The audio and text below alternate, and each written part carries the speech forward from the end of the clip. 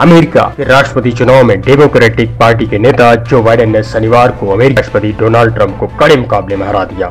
जीत के बाद अपने गृह राज्य डेलावेयर के बिल मिंगटन में लोगों को संबोधित करते हुए बाइडेन अपनी जीत को ऐतिहासिक बताया। उन्होंने कहा कि 7.4 करोड़ से ज़्यादा अमेरिकियों ने मुझे वोट दिया है। उन्होंने कहा कि राष्ट्रपति चुनाव के तौर पर वो ब्लू या रेड स्टेट नहीं देखते, बल्कि सिर्फ़ यूनाइटेड स्टेट्स ऑफ़ अमेरिका को देखते हैं।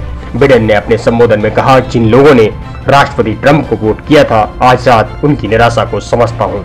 अब एक दूसरे को मौका देते हैं, कठोर बयानबाजी को छोड़ करके। हम एक दूसरे को फिर से देखने, एक दूसरे को फिर से सुनने का समय है।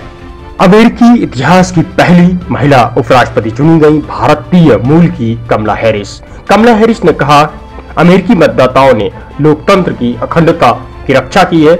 अमेरिका में नए दिनों का आगाज़ हो गया है। अमेरिका के लोगों ने जो हमारे ऊपर विश्वास जताया, इसके लिए शुक्रिया। बाइडन और हैरिस अगले वर्ष 20 जनवरी को पद की शपथ लेंगे। इससे पहले शनिवार को जीत के बाद बाइडन ने ट्वीट किया, अमेरिका, आपने हमारे महान देश का नेतृत्व करने के लिए मुझे चुना। इससे मैं सम्मानित महसूस कर रहा हूँ। आगे का काम मुश्किल ज़रूर है, लेकिन मैं आपसे वादा करता हूँ, मैं सभी अमेरिकियों का राष्ट्रपति बनूँगा, भले ही आपने मुझे अपना वोट दिया हो या ना दिया हो। आपने मुझ पर जो भरोसा जताया है, मैं उसे कायम रखूँगा। उन्होंने कहा, कई बाधाओं का सामना करते हुए बड़ी संख्या में अमेरिकी जनता ने मतदान किया है। इससे एक बार फिर यह साबित हो गया कि लोकतंत्र अमेरिका के दिल की गहराइयों में बसता है।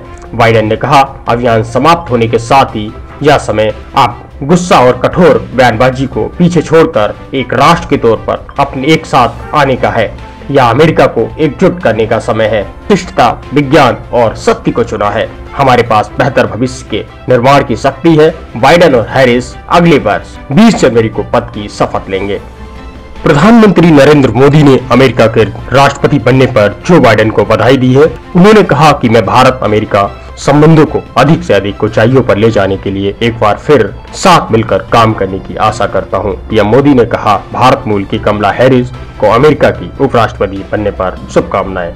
उन्होंने कहा कि सभी भारतीय अमेरिकियों के लिए यह बहुत गर्व की बात है। प्रधानमंत्री नरेंद्र मोदी ने जो बाइडेन के अमेरिका के छियालीसवें राष्ट्रपति निर्वाचित होने पर उन्हें शुभकामनाएँ देते हुए ट्वीट किया, बधाई हो, जो बिडेन आपकी शानदार जीत पर।